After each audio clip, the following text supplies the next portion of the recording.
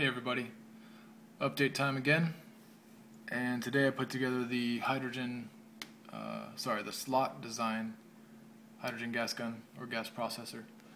So I wanted to start off with this picture. You saw this in one of my previous videos.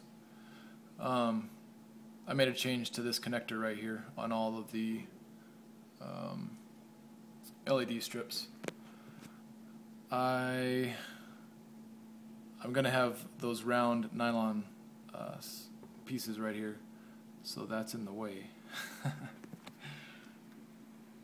I'll show you what I did. You've seen this picture before. That's just looking down the pipe with the lights turned on.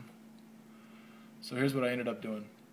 I basically just took it off the front and put it on the back, faced it the other direction, and now that connector is facing this direction. And see these nylon uh, circles are butted up right against the edge of this um, LED strip. So I didn't have any room at all. I just used a wire tie on each end to keep these stuck in place and that wire hangs down there just like that. And here I made a slight change in the plan.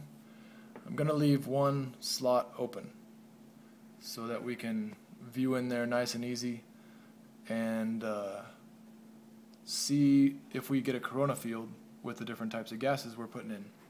And what that will do is tell us that we're stripping electrons off of the gas, which is a very key element in this whole process. So I was worried that I would not know if I was stripping electrons off of the helium or argon or neon, whatever we put through here. So I made this design into a combination functional and testing um, gas processor. So we can just look in there and see what we're doing. So I clipped those wires, connected them up, and then uh, taped them and then drilled one access hole and uh, made it a little easier on myself this time.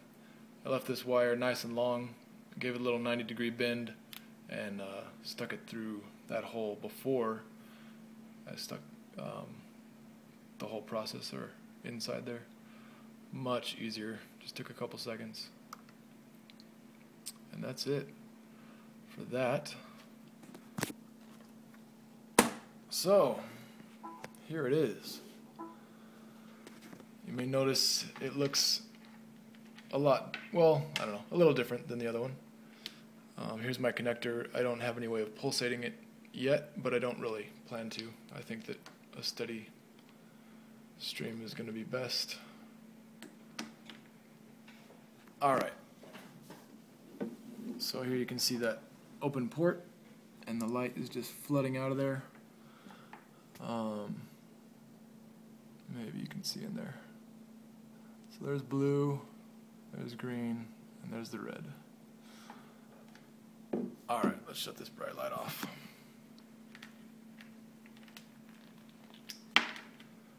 Alright, so most of it's the same. I have these pipes on here, and I wasn't really able to explain what I wanted to do in my last video with these pipes because the other design has electron extraction grids. This one doesn't. Um, this is where they would go and where they may end up going. I left myself a big space here for these bad boys if we end up deciding that they are best. But for this design, what I want to do is have this after the uh, plasma arc chamber or arc reactor, whatever you want to call it. Um, so I'm going to be having the whole thing gravity fed, and so I'll have the gas. What do you call it? The uh, arc reactor up here. Those uh, metal particles are just going to flow straight through here. That's why I wanted that large opening. They're not going to get caught on the electron extraction grid. my electron extraction grids are way too fine.